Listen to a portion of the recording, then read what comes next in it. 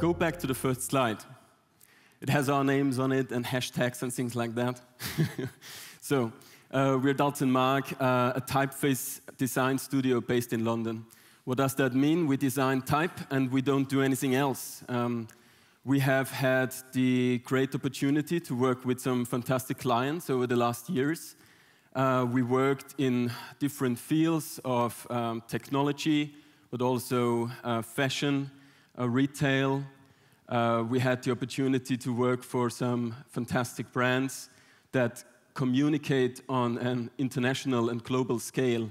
And one thing that we are very proud about at Dalton Maag, we are able to produce uh, global script and um, writing systems that cover uh, the communication on, on, a, on, a, on a global scale. Um, our studio is based in London, and there is um, a, a client that we always dreamed about to work for, and that's, I didn't make that up, that's really true. Um, our founder Bruno Maag uh, and I, we had some uh, conversations about this at, at some point, and when we did get the opportunity to work with the BBC, that was really a big deal for us. Um, designing a new typeface for the BBC um, is not like any other brand. Not that I don't value our other, our other clients, but um, the standing that the BBC has, the values that it stands for, uh, the quality of the content that it produces is something that is um, really, really exceptional. And we were very happy to work together with David Bailey on this project. Thanks, Lukas. Hi, everybody. Uh, so, yeah, so I, am creative director of user experience and design at the BBC. The BBC, a hundred year old giant media organization, uh, but like many organizations, is going through a, a, digital transformation. So for us to remain vital and relevant moving forward, we have to, you know, uh, become sort of internet fit. Um, uh, we were sort of, yeah, this is the BBC. Uh, I, I, work in a small, small department of the BBC called BBC UX and D, which stands for BBC User Experience and Design. Uh, we're comparatively small, about 200 people. That's quite a lot, isn't it? But actually, if you imagine the rest of the BBC in the UK is about 20,000 people, that's a lot of people making lots of fantastic TV and uh, radio and internet content, all of which has to be consumed through this layer of interaction, which my team uh, design all of the web apps and the connected TVs and voice controlled interfaces. Um, yeah, and we do that at the BBC with using our, what's called the Global Experience Language, which is what I'm the creative director of. And this is our Global Experience Language, or GEL as we call it, and it's our shared design framework with which we design all of this stuff in a consistent way, coherent suite of services and products in the UK, of which there are a lot. So when I say products or services, I mean like BBC News or weather or sport or the children's products or iPlayer or education. So there's a lot to do. And this design language helps us do that collectively as a, as a group, and we all sort of develop it together. My specific team um, facilitates, collects, and publishes all of the fantastic work that our designers do around the BBC up and down the country. And what we do is we publish that work as reusable guidelines. So this is like our tools, essentially. And we, we publish it on our GEL website, which is bbc.co.uk slash GEL. And if you haven't looked at the site, do take a look because there's lots of good stuff on there. We share it with the world. It's both an online toolkit for our designers to do their work, but it's also a showcase to people like yourselves that work in the design industry. So, yeah, go and check it out. Um, I didn't always work at the BBC. Prior to the BBC, I used to do this stuff. I worked for 16 years as a, as a more traditional graphic design, art direction, and branding person. I worked for a company called uh, The Designers Republic, who were a very famous studio in the 90s and the noughties, and I, I worked there for about eight years. And then I ran my own studio called Kiosk for a further eight years. So I came from this world of really intuitive, artistic design, branding background and into this world of, uh, of user experience design, which was new to me at the time. Four years ago, I joined the BBC. And there's no less sort of level of craft or care or attention to detail. It's just a different kind of practice. It's more user centered and iterative, as you guys will know. Um, so when I inherited this, I came in as creative director of this global experience language, and I was looking to kind of how I could enhance that language for everybody and really reinforce and uh, energize the brand of the BBC, the visual brand, that is. And a core component of any brand is its typeface, it's its, its visual tone of voice. Um, I inherited two typefaces when I arrived, the two corporate typefaces that were connected to GEL. There's this one, which is Gill Sans, a classic humanist typeface. Um, humanist so called because it has fluctuating stroke, stroke widths within each character.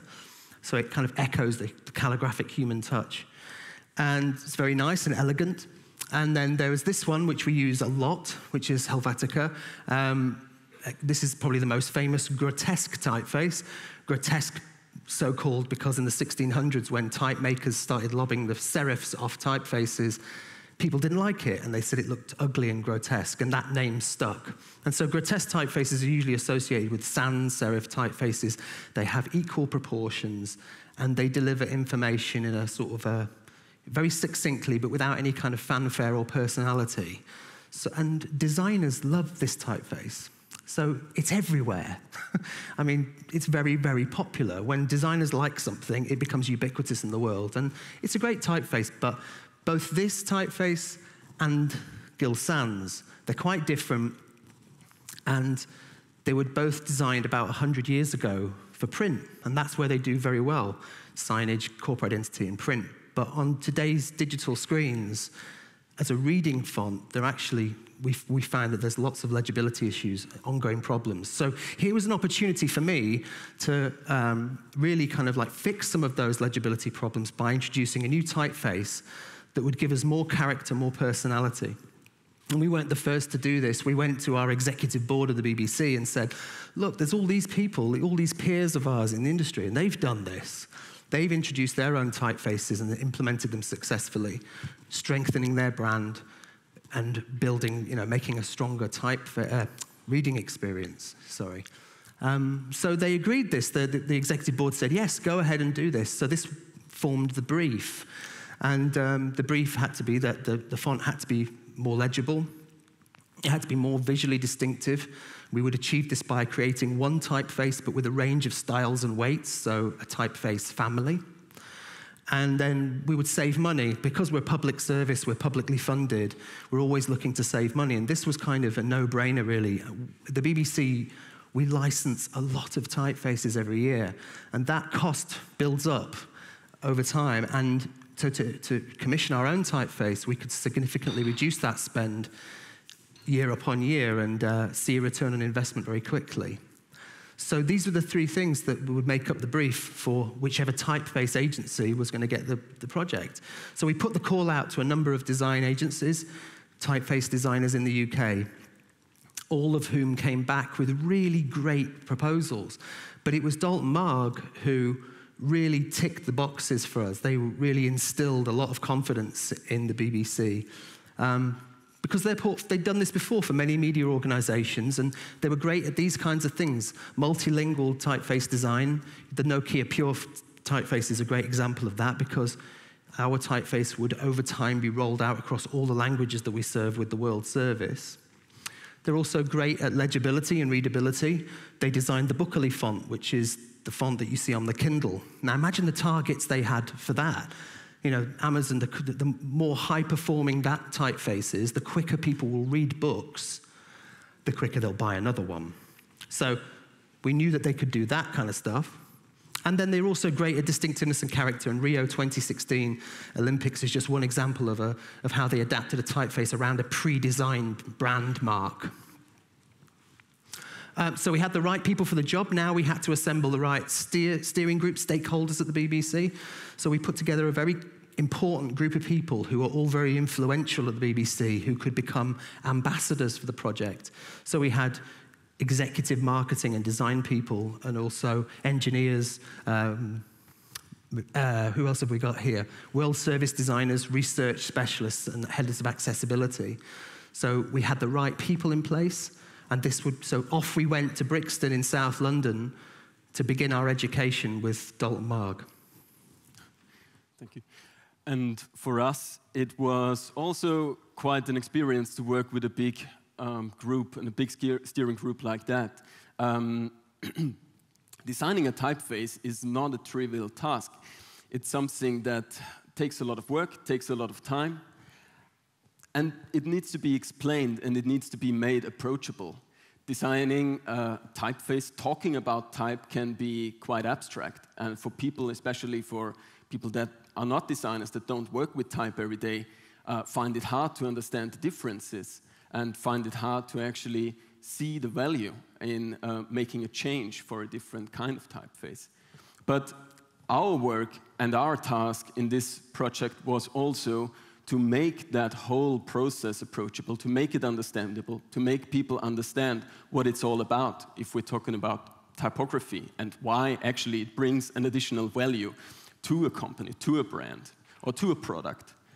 Um, so we've done a series of exercises together with the steering group, uh, steering group from, from the BBC, and uh, we used some traditional ways to un understand what are, for example, what are the, the biggest fears, what, and, and what are the biggest hopes, what do people actually look out for, what do they wish that comes out of that project. And some of those themes uh, were around unity, were around modernization, were around the fact that anything that was being produced had to be fit for all audiences. The BBC doesn't only communicate to a certain user group, it communicates to everybody and wants to include everybody, and that inclusiveness is an important factor. And there were some fears around the project as well. Um, flexibility, introducing something new, introducing a system that people were asked to use and couldn't break out from. They couldn't just use another typeface because that's the idea of a corporate typeface. You use the one that you're given. Um, so it had to be flexible enough. It had to be versatile enough to cover all of those different use cases. Um, and future proofing. You don't want to invest in the production of a new typeface if it's out of fashion in two years, if you can't use it anymore because technology moves on. Um, so we had to take those things into consideration. Um, another way to make the whole conversation about typography more approachable is to work with classic ways such as mood boards here. And our task was to translate themes like communication, heritage, Britishness, internationalization, communication, translating those keywords into the typographic world.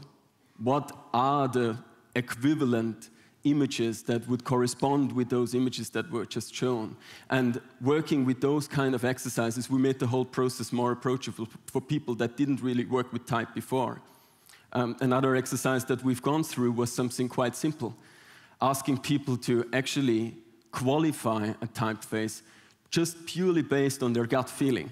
Everybody has an opinion about type, and everybody has a different opinion about type. And that doesn't make the whole process easy, um, but it helps us if we qualify the results that we get from a group of people and we identify in which direction do we want to move as a group it identifies and helps us producing a brief. And what was quite interesting in that segment that we've highlighted here between uh, creative and um, respectful, which was really the direction that we wanted to hit with the development of the new typeface. By coincidence, some of the designs that were chosen there that were right in the center were actually very, very classic British examples of type design. There's Gill Sans in there, there's Charter in there, a typeface designed by, by Matthew Carter. Um, there's Baskerville in there. I mean, it doesn't get much more British than Baskerville, I guess. And uh, what was interesting for us, we didn't make that up, that actually, that really happened. What was interesting for us, it could help us understanding what are the shared design features that are actually um, that are actually there across all of those different designs. There are things like open shapes, sharp connections, um, and much more details than that that unify all of those different designs. And this helps us identifying a brief. How do we actually design a typeface? Well, we start from scratch. It's important for us that we never just take something that exists and move things around or change them it has to be done from scratch. It has to, be, it has to start literally on a white piece of paper. Um, but we sketch to produce ideas, and we sketch to produce uh, first uh, concepts of where we want to go. And relatively soon, we can move to the screen and develop a small set of characters um, that helps us understanding where the typeface is going to land. So this is a relatively small group of characters. We've got around 20 glyphs or so, upper and lowercase characters, a few figures that are in there. Um, we shared that brief with our team. Our team is now just under 50 people, and we have around 25 type designers and developers in house. So we have the great opportunity to actually share the brief with different designers and ask them to interpret the brief on their own. In this case, it was seven different designers that worked on it, all of which identified their own interpretation of the brief. And there are certain aspects of the design that have to be standardized, otherwise it's impossible to compare different designs. Things like the X height or things like the stem weight had to be clarified from the start, otherwise it's impossible to compare the details. And if you zoom in and you, and you look at the, the structure of those characters, you will see that there are big differences between those designs. We're covering a range between what we called before humanist designs and grotesque designs, designs with a higher contrast and a lower contrast. And what you see here is that also from the start we conceptualized the design as a combination of a sans and a serif design to produce a type family and not just one font.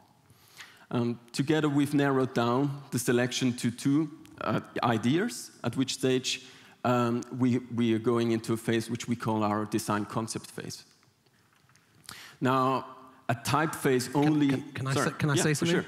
So, uh, it, what was interesting at this point was we now had the two that we were beginning to really settle upon was a humanist typeface and a grotesque typeface. We didn't know which way it was going to go, but this, these were the two that we were, that we were looking at now. So that's yeah. just to bear that in mind for It's like the typographic race was on between humanist and grotesque.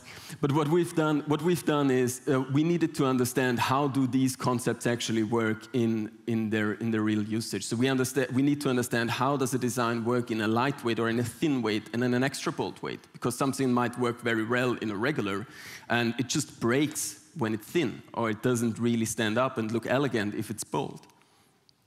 We also tested from the very beginning. We needed to test how do those concepts perform in the actual environment of the brand.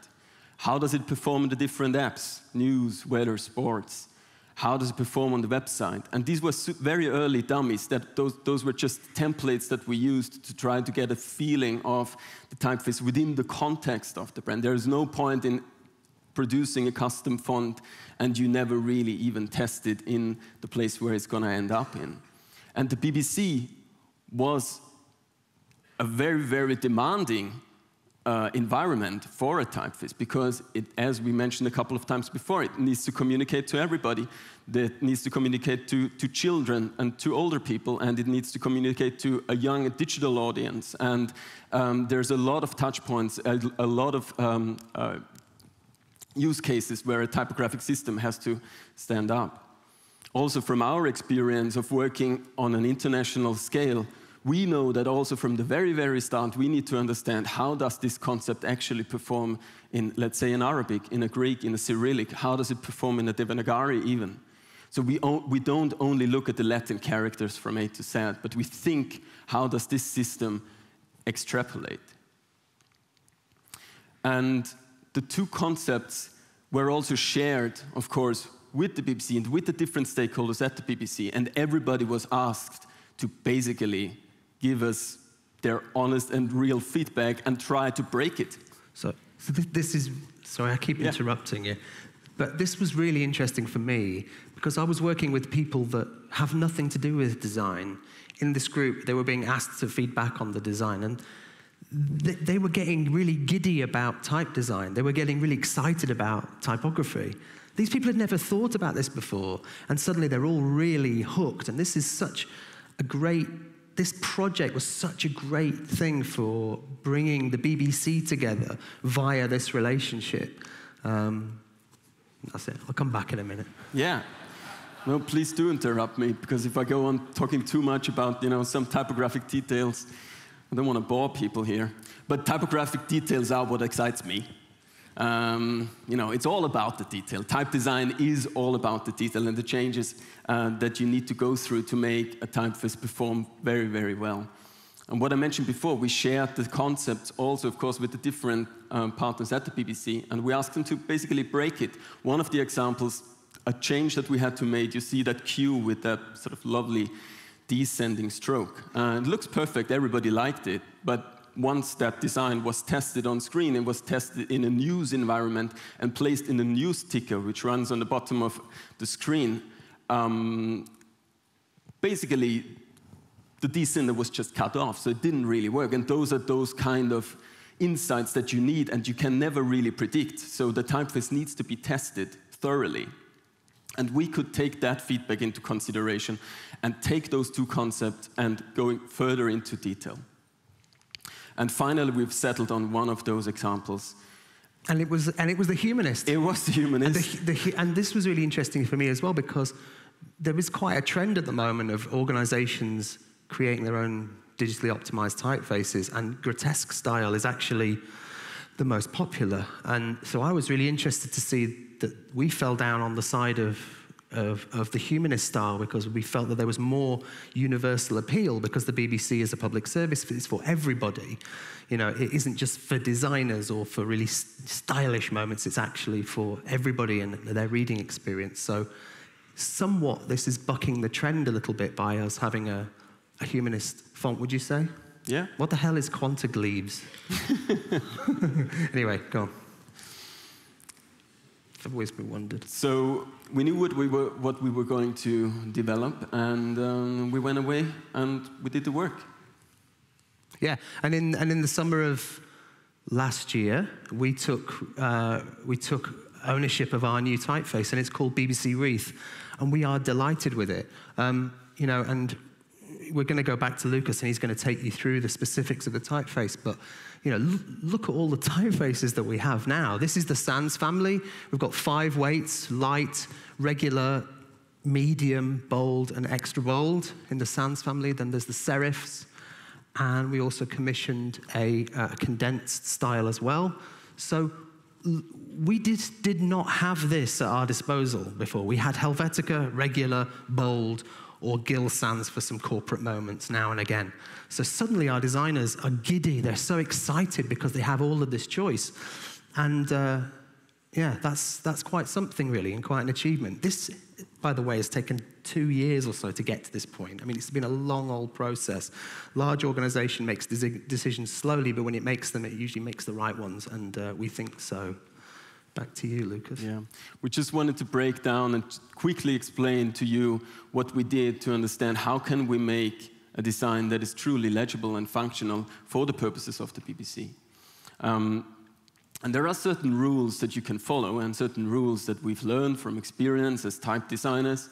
There are some things that we know they can improve legibility. One of the things is clarity of shapes. It's very important that every single character is recognizable uh, so that words are recognizable. So identifying character shapes that are distinct from each other helps with the legibility of the typeface. A large X height. So a large X height is just the most important thing. If you're choosing a typeface for small sizes that needs to be performing on small sizes, uh, a typeface with a larger X height is going to give you more space, is going to give you more character in, the, in those most important character shapes open counters. And this is where the humanist design really, really works because the characters in a humanist design, uh, the counters in a humanist design are much more open. They let much more air in. And there's a much better balance of the white and the black space. And in very, very in small sizes, that makes a huge difference. I love that. I love that description. It lets more air in. Yeah. I mean, type design is all about balancing the black and the white, and you always have to design both at the same time You know, that's the number one rule. If you're ever trying to design a typeface, don't only look at the black bits, but also look at the white around it, because it needs to be all in balance. Broader proportions. Now, in small sizes especially, and again, it's for similar reasons to the large X height, it's important that there is enough width of the characters. Um, so again, it, this, it's about clarity of shape. Also, the spacing, like, like I mentioned just now the rhythm between the inner and the outer spaces that needs to be in balance. Otherwise, the typeface cannot perform in small sizes. And then stem weight. A regular weight needs a certain punch, it needs a certain width to withstand some of the critical environments, different media. Some, a regular weight that is too light wouldn't really be enough and wouldn't really hold up. So it, the balance of the weights needs to be considered very, very well. Clarity of individual shapes, ascenders. Nobody can read that first word. Yeah, you can read it because you kind of understand the content, you understand what it means. But if you wouldn't understand what it means, you couldn't decipher those first three characters. They look completely similar. Creating a, a, um, ascenders that just go beyond the cap height help with that. And also widening those very, very narrow glyphs, the L, the T, if in small sizes the resolution isn't very, very good, and also if the spacing is very, very tight, those narrow characters can collapse and decrease legibility. And we had the great opportunity to also develop a serif typeface for enhanced readability. And this is a distinction that I quickly want to make between readability and legibility, because legibility means that a design is designed in such a way that it's easy to read, it's easy to understand, and it's actually clear. But readability is about the comfort of reading a longer piece of text. So it could be that you're setting a book in the most legible typeface, but it isn't very readable because readability needs to take into consideration also content and context. The humanist sans design, this is a contemporary version of the humanist sans, but really it has its roots in like the, the late 1900s. And Gill sans is such a classic example of it. And Gill sans, of course, there is a heritage about Gill sans. It is very, very British design, and the BBC also holds it very, very highly because it's also part of their logo. So we wanted to be sure that we also understand those principles of Gill and we understand where the original character shapes came from. And we like to say that BBC Reith could be something like the great grandson of Gill.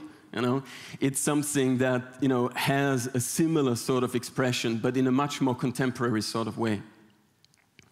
Some of the character shapes and some of the character characteristics are similar, like the openness of the shapes or the sharpness of the connections. But some are very, very different. You will see that the, the width of the characters is much more unified. The S is much wider, for example. It's much closer to the width of the O, which makes it much more usable in smaller sizes. Some of the more complex characters, like the double story G, were removed for a much clearer design.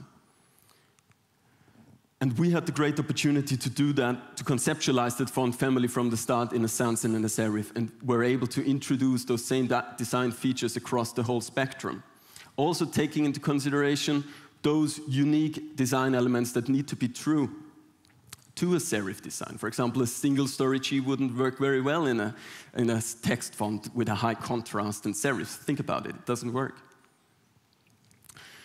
we needed to make this typeface functional, so we needed to add a lot of characters. It doesn't stop at A to Z. There's diacritical marks, there's mathematical symbols, there is all sorts of additional glyphs that need to go into a standard set of a typeface. We also developed a Cyrillic character set.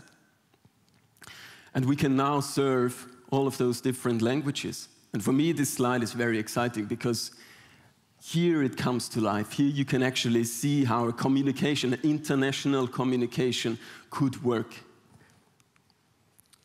And we also had to engineer the typeface in such a way that it performed well. So small things that are important that we introduced in the typeface make a big difference. For example, the single story A. Children's programs. BBC is communicating with children. It was important that, for that group that children were being taught um, the, the, the, character structures in a way that was close to them so they could understand how the character shapes relate to the handwriting. So the single story A was something that we produced especially for those programs. Small caps for advanced typographic setting or ligatures, which are almost a given now in any case, but it's something that you have to technically go through and actually introduce in the typeface. And then we handed over the typeface and we gave it to the capable hands of uh, David and his team. Yeah. And, um, and David is going to talk about the implementation and the rollout. Thanks. Um, so, like I said, we got, we got the typeface in the summer of last year, and it arrived at the same time as BBC Sport were rebranding themselves. Well, not rebranding, they were doing like a brand harmonization piece. They landed. Um, and, uh, and so we needed, yeah, the BBC is enormous, right? And it has so many different products and teams that there's no possible way that we could implement a new typeface across the whole piece overnight. It was going to be an incremental implementation. And having the a really good first customer is really important because it gets the snowball rolling down the hill and everybody else starts to come on board. So, yeah, Sport went live in the summer and they chose to implement the Sans um, typeface style. And so I'm going to show you some pictures of that. And we're, we're really excited about this because, look, it looks great. Uh, and I'm going to show you a little film now with some silly music. It's only two minutes.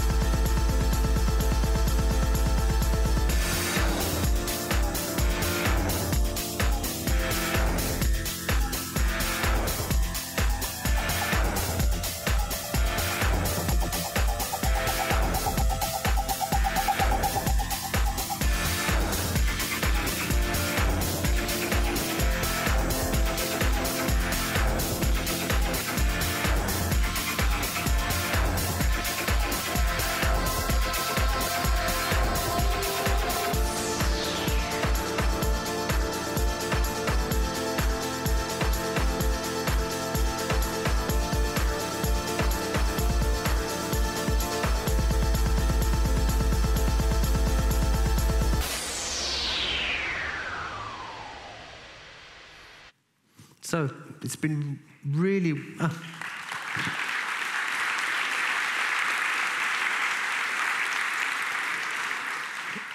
So it's been really well received. Um, and what I mean by that is, whenever the BBC does something new, we get lots of complaints.